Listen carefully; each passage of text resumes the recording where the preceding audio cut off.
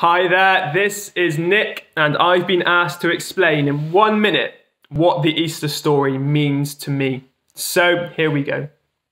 The Easter story to me is all about emptiness. It's not about bunnies, not about chocolate, and not about the giving of gifts.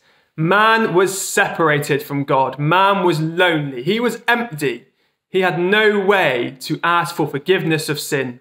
That was until Good Friday. Christ, the only Son of God, goes to a cross, is mocked and spat at, and is killed on the cross of Calvary. That is until three days later, you know what happens. The tomb where he was buried is empty. Christ had gone. Why? Because he has risen from the dead. He has taken our sin, our bad things, our despicable, our naughty things on the cross and has forgiven you and me and all of us.